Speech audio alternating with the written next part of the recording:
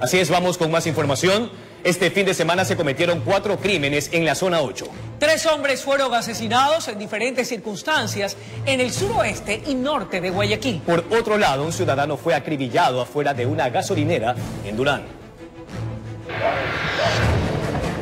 Los tiros partieron el feriado de los habitantes de la 38 y Portete, suroeste de Guayaquil.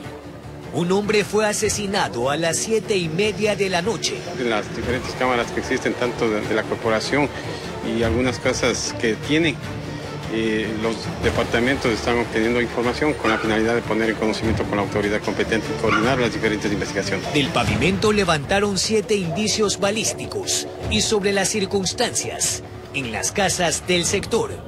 Nadie quiere meterse en líos. Tres minutos más tarde, afirma la policía, varios sujetos embistieron a un hombre en las calles 35 y Vacas Galindo. Hubo víctimas colaterales. Cuatro personas heridas, una de ellas es una mujer. Y este rato estamos con los diferentes departamentos de la Policía Nacional con la finalidad de poder obtener alguna información. Acá tampoco dieron testimonios. No fueron los únicos. En Vergeles, norte de Guayaquil, gatilleros buscaron a un hombre que iba caminando por una avenida. Antonio Vera Barba tenía 29 años de edad y nueve proyectiles en su cuerpo. Llegó sin signos vitales al hospital Monte Sinaí.